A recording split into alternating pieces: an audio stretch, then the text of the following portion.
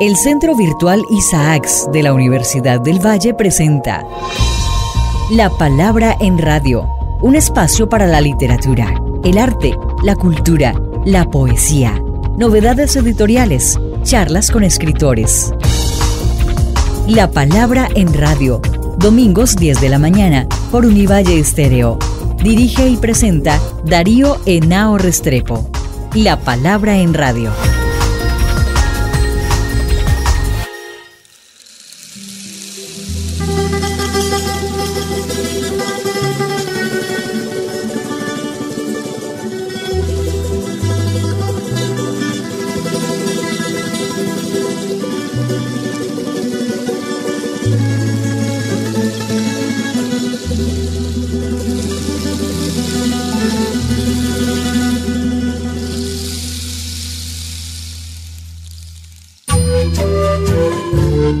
Buenas, amables oyentes. Como siempre, todos los domingos a las 10 de la mañana en nuestro programa La Palabra en Radio, un programa del Centro Virtual Isaac de la Facultad de Humanidades de la Universidad del Valle que hacemos directamente desde la ciudad universitaria de Meléndez, aquí en la 105.3 de la FM Univalle Estéreo. Como hemos venido haciendo en las últimas entrevistas, hoy tenemos a una lideresa del movimiento indígena colombiano muy destacada, ha estado entre nosotros, ha venido a la Universidad del Valle. Hablo de Aida Culcue, actualmente coordinadora nacional del CRIT y que viene de una larga trayectoria en el movimiento indígena colombiano. Ha sido gobernadora de su cabildo de Puracé, consejera del CRIT y bueno, muchas otras actividades que despliega Aida, una mujer que es un orgullo no solamente de su movimiento, sino de este país. Es un ejemplo. Vamos a hablar con ella de la coyuntura actual del movimiento de protesta y tan inédito y tan importante que ha estremecido este país. Y bueno, bienvenida Aida aquí a La Palabra en Radio. Nos acompaña el profe Juan Bautista de la Universidad del Valle para conversar aquí con Aida. Bienvenida Aida.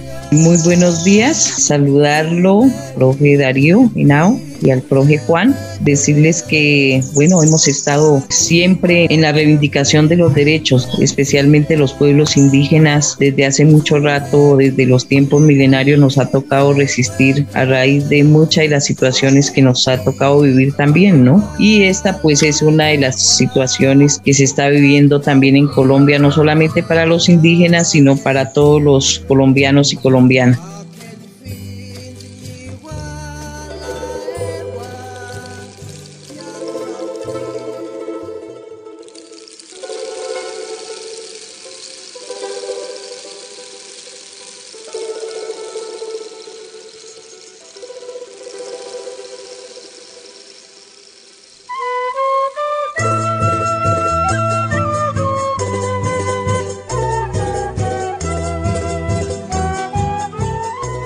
Aida, vamos a uno de los puntos más álgidos que ha sido el conflicto que tuvo la minga indígena en Cali. ¿Cuál es la valoración que tú haces de esa participación tan importante, tan reconocida por la población, pero cuestionada por los sectores minoritarios? ¿Qué valor le das tú a eso? ¿Qué significado y qué perspectivas le das a todo ese proceso de acompañamiento que ha hecho la minga indígena del movimiento específicamente aquí en Cali? Bueno, en principio creo que después del 28 de abril. Nosotros antes de esa fecha estábamos en Minga hacia adentro a raíz del asesinato de la gobernadora Liliana Peña del resguardo de la laguna municipio de Caldono. Estábamos pues todo en un proceso de acompañamiento porque fue un asesinato muy fuerte como la que ocurrió recientemente la gobernadora de la autoridad de Corinto y estábamos pues en ese ejercicio especialmente de la jurisdicción especial indígena cuando inicia el 28 de abril esta jornada del paro nacional. Participamos en Popayán. Inicialmente habíamos considerado que era una jornada de un día y retornábamos entonces a continuar la minga hacia adentro. Pero posteriormente nos dimos cuenta que el paro siguió y que precisamente fue un levantamiento muy grande grande en Cali, especialmente la juventud y la ciudadanía, pero también a raíz del hermanamiento, del proceso mismo social, muchas de las organizaciones nos conocían como Minga y nos decían que si era posible que apoyáramos el proceso en el valle porque estaban asesinando a los jóvenes, una razón que nos llevó a las comunidades indígenas del Cauca en cabeza de nuestras autoridades a irnos a Cali. Estuvimos en la Universidad del Valle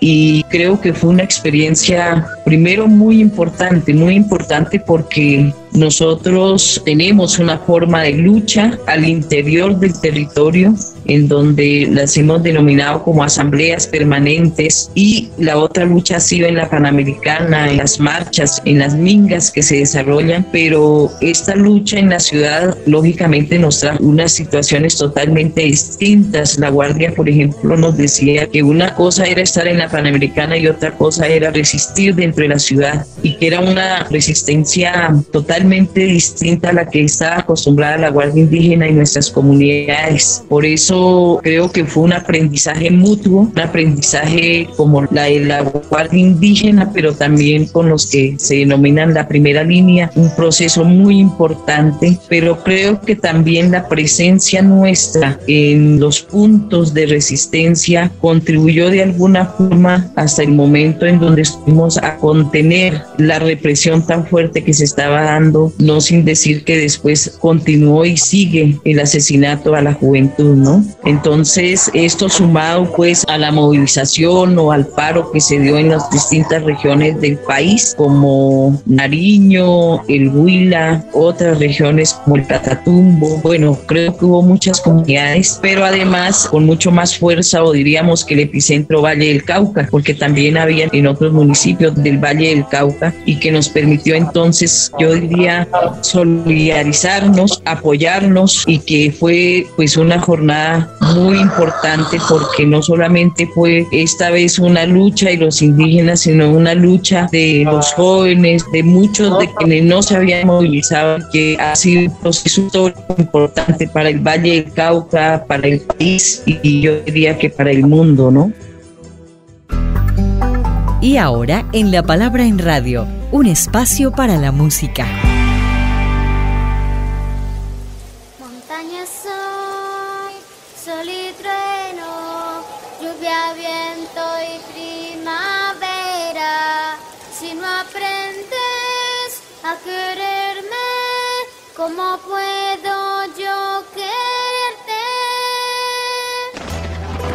Hola, bienvenidos a La Palabra en Radio. Están escuchando Convocando a la Unidad del compositor Fanor Seque, el intérprete La Orquesta de Instrumentos Andinos, bajo la dirección de Richard Francisco Escobar Mora. Es una composición musical con las voces de los niños del resguardo indígena Huellas de Caloto Cauca. La Palabra en Radio reivindica a los grupos minoritarios de Cali que resignifican su habitar en una ciudad que les ha negado oportunidades debido a su procedencia. Hoy nos acompaña la voz de resistencia que siembra la semilla de la educación propia por la pervivencia con identidad en el territorio.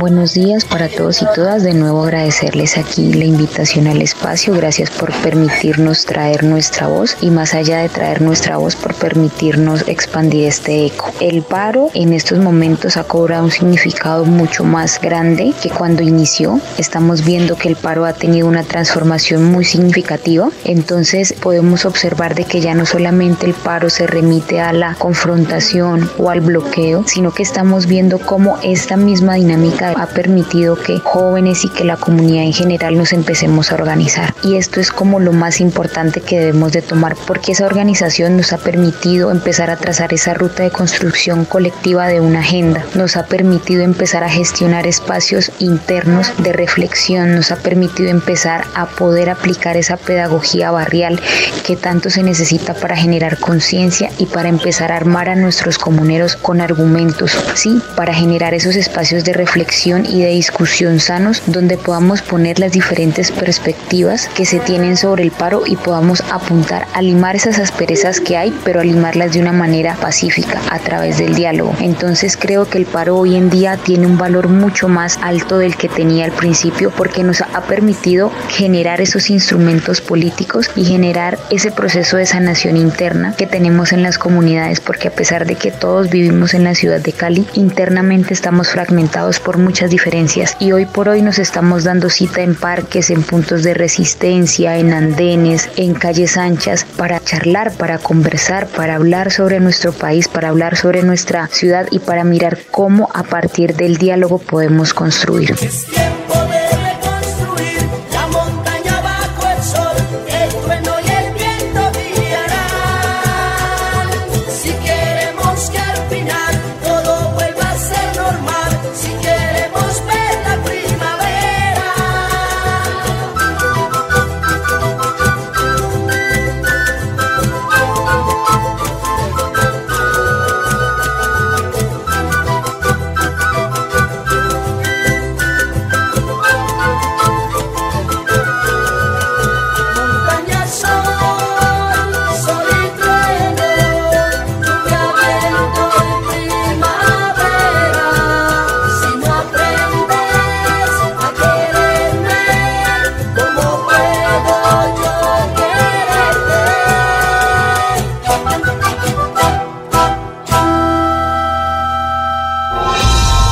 La palabra en radio.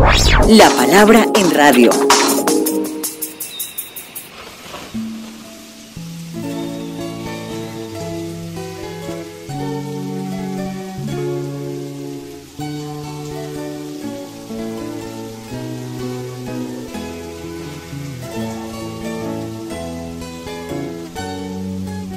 Bueno, vamos a seguir aquí con esta interesante conversación Hoy tenemos a una lideresa del movimiento indígena colombiano muy destacada. Hablo de Aida Culcue, actualmente coordinadora nacional del CRIT Aya, tú eres una mujer de mil luchas. Has vivido con toda la fuerza en primera persona en la represión de este Estado. Has vivido cualquier cantidad de mingas, de movilizaciones. ¿Encuentras algo nuevo en esta movilización, en este paro? ¿Podrías decir, expresar y qué sería eso nuevo? Personalmente encuentro en este paro es que justamente en el 2008 cuando me tocó orientar la consejería del CRIC y conducir la minga de resistencia social y comunitaria en esa época, como la de hoy, era una época en donde se estaba viviendo los falsos positivos, las muertes de manera sistemática, como lo que hoy también se vive, pero además en ese entonces el gobierno de Uribe había dicho que nadie se podía movilizar, nadie podía alzar la voz en ese momento. Entonces, con las comunidades dijimos, vamos a iniciar esa minga, pero uno de los propósitos de esa minga justamente fue convocar al país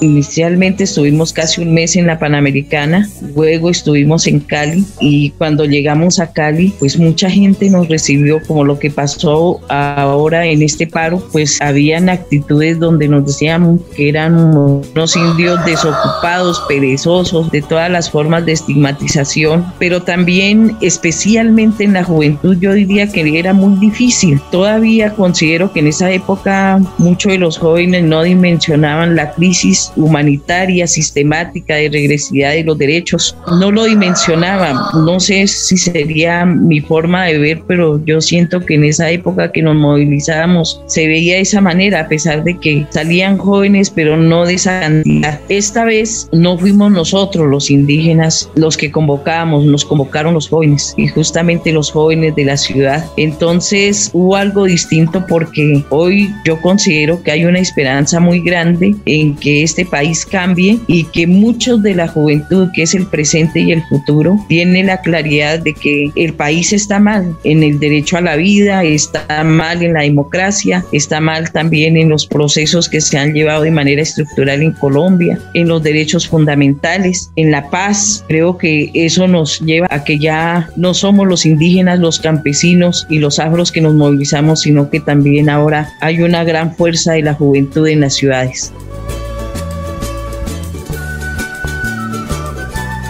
Aida, sobre los procesos de negociación que se han abierto con este gran movimiento, ¿Cómo lo ves? ¿Cómo interpretas tú lo que se está dando a nivel, por ejemplo, local o regional y también lo que se pueda generar nacionalmente con todo este proceso? Bueno, primero yo diría que el gobierno nacional está dispuesto a hacer acuerdos como siempre, históricamente, y no cumplirlos. Y ahora pues no está dispuesto a negociar, porque si ustedes se dan cuenta, para el caso del Comité del Paro Nacional que pues inició con el tema de las garantías, pues no hubo acuerdos que llevaran realmente a las garantías para el paro nacional. Nosotros, el gobierno a la minga nos llamó, nos sentamos en Monterilla, pero también hablamos de garantías y finalmente tampoco hubo garantías sobre lo expuesto. Entonces lo que vemos es que el gobierno lo que quiere es dilatar y no negociar. Hubo una situación importante, por ejemplo, para el gobernador del Cauca, seguramente porque es un gobernador que viene de, también de un proceso social, el haberse pronunciado en el momento en que el ministro de Defensa señaló y ofreció recompensa a algunos de los líderes sociales en el Cauca, toma posesión el gobernador en desobedecer esa orden me parece muy importante. Y que de alguna forma ha servido como un puente para mediar, para estar ahí, nos parece importante, contrario a lo que yo podría decir el alcalde de Cali, ¿no? A pesar de que también viene de un proceso alternativo, pues sabemos cómo funciona la institucionalidad, sin embargo, a veces vemos como mucha indiferencia, situaciones como la que nos dijo tienen que irse de Cali porque históricamente a nosotros nos han visto como un problema para el país y esta vez también lo vivimos en Cali, entonces creo que hay de mandatarios a mandatarios que tienen un proceso social y tienen una conciencia sobre los pueblos que lo eligieron, pero hay mandatarios que no. Entonces creo que tenemos una diversidad muy fuerte en Colombia y ese es el país que tenemos que ir transformando no solamente en los procesos sociales, sino en el proceso de gobernabilidad en Colombia. La palabra en radio. La palabra en radio. Con el que usted está en, eh, en, La Paz y usted vienen a atropellar a, o sea, a, esos niños porque ahí habían menores de edad. Entonces yo les dije, él me dijo, usted no crea nada de eso, que la realidad acá en esta vía es otra. Eso es una estrategia y negocio. ¿Ustedes ya están acostumbrados a esto? Yo sí. Bueno, ustedes están muy tranquilos. Yo sí porque yo vivo donde se enfrentan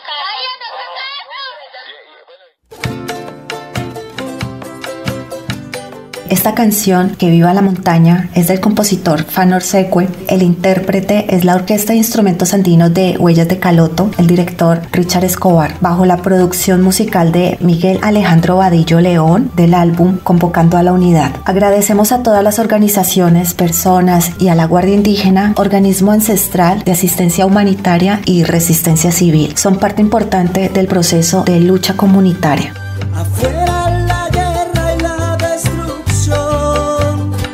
Fue muy importante el papel que jugaron nuestros compañeros en el extranjero porque lograron visibilizar todo ese horror que sufrimos nosotros acá al ser censurados de diferentes maneras. Y creo que eso sirvió mucho para que las visitas como la que tuvimos del CIDH se pudieran materializar y ellos pudieran llevarse información de primera mano sobre cómo estaban reprimiendo la protesta social y cómo la estaban vandalizando el gobierno y la fuerza pública. Pero aquí hay que agregar algo más y es que desde lo que nosotros vemos y la lectura que hacemos es que el hecho de que embajadores estén viniendo a mirar, a verificar, a observar, para nosotros es muy importante. En este sentido quiero, digamos, recalcar la visita que tenemos del embajador de Noruega este lunes aquí a la ciudad de Cali. ¿Por qué? Porque Noruega fue el país garante del proceso de paz y recordemos que el proceso de paz fue un instrumento que nos dejaron, que nos delegaron para nosotros poder materializar todas esas luchas que hemos tenido a lo largo de la historia, la lucha por la tierra, la lucha por la autonomía, la lucha por la defensa del medio ambiente y aún, digamos, el valor agregado que tiene esto es, es el enfoque de género que también se da. Entonces, el hecho de contar con un país que creyó en un proceso de paz, que sirvió como garante para que se construyera y para que se diera paso, es muy importante contar con la visita de ellos. En este sentido, esperamos que el embajador pueda venir y pueda verificar y pueda mirar, pueda observar, pueda tener ese contacto humano con quien estamos haciendo parte de estos diferentes procesos para que se entere, de que el paro no es esa fuerza negativa que el gobierno quiere vender de manera interna y de manera externa para justificar toda la barbarie que ha venido desplegando, para que el embajador lleve esa voz de nosotros y que sea un fiel testigo de los procesos sociales, culturales y políticos que hoy por hoy jóvenes y demás comunidades en general lideramos dentro de esta ciudad en pro y en busca de la construcción de una sociedad más justa y equitativa.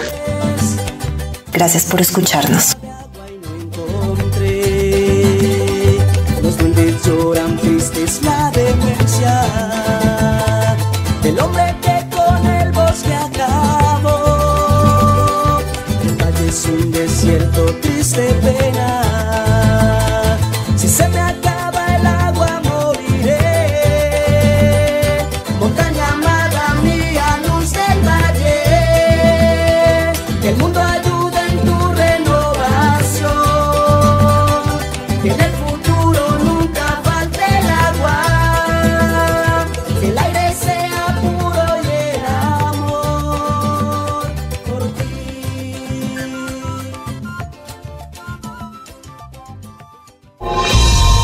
La palabra en radio. La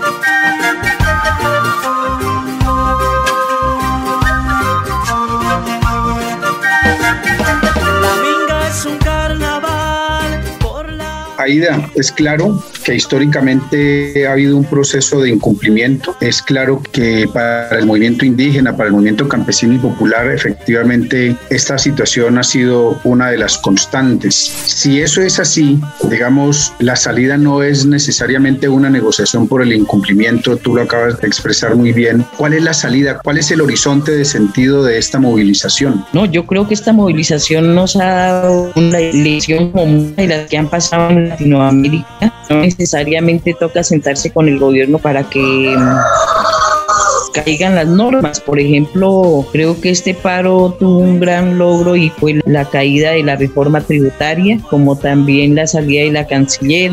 Bueno, otros puntos importantes que no fue necesario entonces sentarnos con el gobierno, sino que la fuerza del pueblo, la fuerza de la movilización popular hizo a que pues cayeran estas normas que son regresivas para las comunidades. Ahora lo que sí toca mirar es cómo va a ser lo que se va a formular de aquí en adelante por parte del gobierno, pero creo que esto nos demostró que no necesariamente era sentarse con el gobierno. O sea que una de las ganancias que tú en caliente valoras no es propiamente la negociación, sino la conciencia del poder de la movilización. Claro que sí, porque creo que fue mucho lo que se movió en Colombia y de alguna forma yo diría debilitó al gobierno colombiano.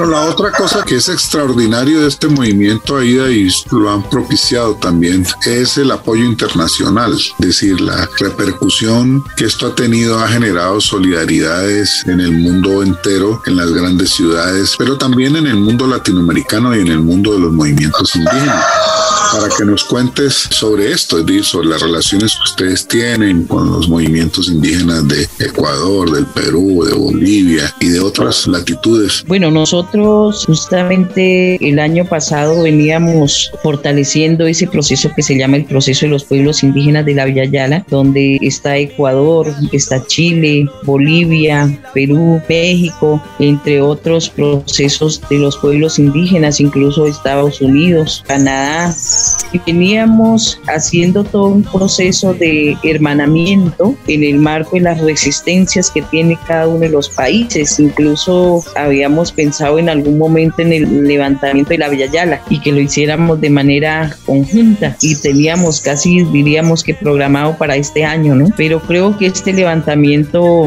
se aplaza un poco porque se nos adelantó el paro en Colombia y creo que de alguna manera es un ejercicio bastante importante. Y más allá de los pueblos indígenas, también los aliados de la comunidad internacional que de alguna manera han acompañado con mucha fuerza este proceso del paro nacional. Creo que la presencia, por ejemplo, de la Comisión Interamericana de Derechos Humanos, como otras expresiones del país, del mundo internacional también. Justamente hace 15 días, porque nosotros llevábamos de la minga hacia adentro, hacia la minga hacia afuera, llevábamos más de dos meses y decíamos, de todas formas, siguen matando a la gente y la represión y la forma como viene tratando el gobierno colombiano de manera militar a los compañeros que están en las ciudades y en las carreteras, pues tenemos que buscar también una salida política que nos permita empezar a tejer otros mecanismos de alianza entre nosotros. Y por eso desde la Minga nosotros convocamos a ese gran pacto por un nuevo país que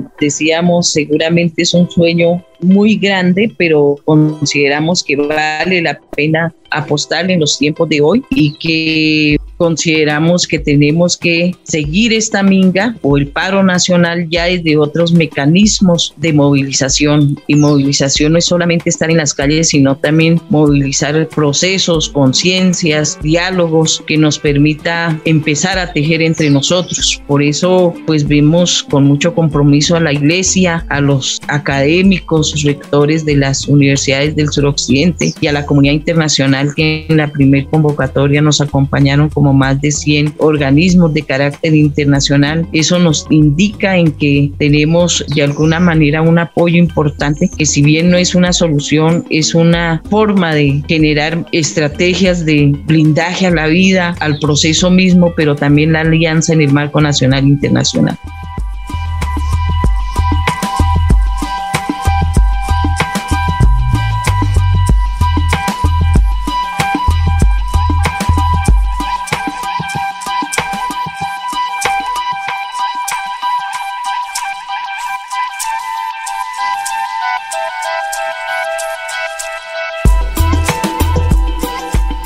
¿Qué le toca hacer a una lideresa como Aida Quilcue, que ha sido amenazada, que casi que la matan en una oportunidad y fue tu esposo? Es decir, ¿cuál es esa cotidianidad para que le contemos a nuestros oyentes y a nuestros lectores sobre tu vida? Cuéntanos un poco cómo es que debe ser muy difícil y a veces azarosa en este contexto. Primero, yo vengo de una familia del pueblo nace en tierra adentro y bueno, mi cultura ha sido ser muy de la familia, pero también muy de la comunidad, Claro, este proceso me transformó la vida porque primero tuve que acostumbrarme a un esquema de seguridad que nunca había tenido la experiencia, pero que pude también dar una lucha ante el Estado para que ese esquema de seguridad no fuera totalmente el Estado, sino que fuera diferencial, que fuera con la Guardia Indígena, con algunos elementos que los da el Estado, pero que no es fácil. Por otro lado, creo que haber en el 2009 haber eh, pasado por siete procesos judiciales, uno de ellos como lavado de activos, que finalmente lo archivaron porque no tuvieron pruebas y era porque decían que de dónde yo había financiado la minga del 2008, la muerte de mi esposo, por ejemplo, y bueno, los demás procesos judiciales que me ha tocado enfrentar y un sinnúmero de amenazas y persecuciones que tuve, pero yo creo que lo más fuerte de la persecución para mí fue el ataque moral y desafortunadamente así nos toca a las mujeres, porque en ese entonces Uribe había dicho que yo había mandado a matar a mi esposo por problemas sentimentales. Y ese fue una propaganda casi de un año donde Radio Super, El Liberal, todos los periódicos hablaban era sobre la vida personal mía, pero no de manera, yo diría, para ayudarme, sino para estigmatizar. Y creo que ese es el mundo de nosotras las mujeres que tenemos que vivir un ataque moral, físico, psicológico, político, judicial, bueno, de todas las formas. Y lo que me tiene aquí y lo que siempre digo en todos los escenarios que me encuentro es que me tiene aquí la juventud indígena, porque en las situaciones más difíciles ellos me acompañaron, como también fue la guardia, ¿no? La guardia por compromiso propio siempre me acompañó y me sigue acompañando. Y creo que esa forma de acompañar se revierte entonces en una responsabilidad para con las comunidades. Es una situación compleja, pero creo que me ha servido para aprender, para caminar, para seguir siendo fuerte, pero lo más importante aquí es el apoyo de nuestra familia, en mi papá, mi mamá que todavía viven y mis hermanas, mis hermanos han sido fundamentales en este proceso. Pero además yo diría, yo no he dejado de ser la que fui hace 30 años, digo 30 años porque llevo casi 25 años de proceso y no, yo llego a la casa, cocino, hago mi oficio, no he dejado de ser la Aida que fui de esa época, por lo que me decía mi mamá, uno nunca debe dejar de ser lo que uno ha sido, no hay que olvidar las raíces, hay que mantener la humildad, así lleguemos a los cargos que seamos. Y yo creo que esa es la fortaleza que me ha dado mi familia. Y bueno, eso es lo que soy. Y sigo luchando también por nuestras comunidades, acompañando a muchas de las víctimas. Ayer llegué de la audiencia pública en Corinto de los asesinatos que ocurrieron de la compañera autoridad con su esposo y es muy difícil, ¿no? Muy difícil porque a pesar de que he vivido esta situación, toca seguir acompañando la situación de otros compañeros y compañeras que aún siguen viviendo esta situación compleja. Aida, está, decíamos, lo del contexto, el acumular de fuerzas de este movimiento, que como bien lo señalabas, no es convocado por el movimiento indígena, el movimiento indígena es convocado por una movilización. Está el apoyo internacional, diversos actores, diversos sectores. La pregunta que mucha gente se hace, que nos hacemos es, ¿qué sigue de aquí en adelante? ¿Qué sigue? Nosotros decimos que el paro o la movilización no ha terminado Consideramos que en el marco del Pacto por un Nuevo País vamos a recorrer el país junto con las organizaciones que hacen parte de este proceso. Ahí están los estudiantes, están los campesinos, están los afros, están también otras expresiones y esta vez hemos dicho que nos vamos a juntar para recorrer este proceso. Y recorrer es hablar, recoger y ojalá revisar a ver si podemos generar una asamblea grande como muchas de las que ya se han hecho para seguirnos juntando y que después tenemos que llegar con mucho más fuerza, ojalá el doble de lo que pasó ahora. Creo que ese es el proceso que tenemos que seguir tejiendo y no solamente en el marco del pacto por un nuevo país, sino también revisar una ruta jurídica que nos permita ser vinculante este proceso. Bueno, muchas gracias Aida por haber estado aquí gracias. en la palabra en radio. A Juan, pues hemos conversado aquí con una mujer extraordinaria, ejemplo para los jóvenes y para todos los colombianos. Tendremos oportunidad de seguir conversando aquí con Aida Clicue en próximos programas en La Palabra en Radio. Agradezco a nuestra productora general Shirley Saem Mosquera, Fernando Patiño en el sonido. Quien les habla, Darío Anao Restrepo. Les desea un feliz domingo. Los espera en la próxima emisión aquí en La Palabra en Radio 105.3 de la FM Univalle Estéreo.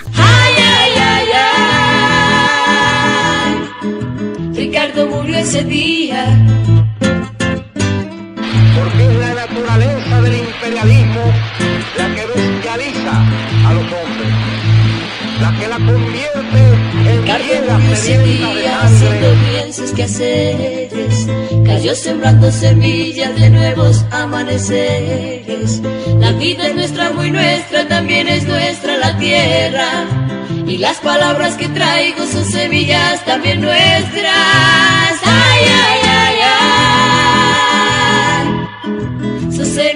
También nuestras. Ay, ay, ay, ay. Son semillas también nuestras. Ay, ay, ay, ay. Ay, ay, ay,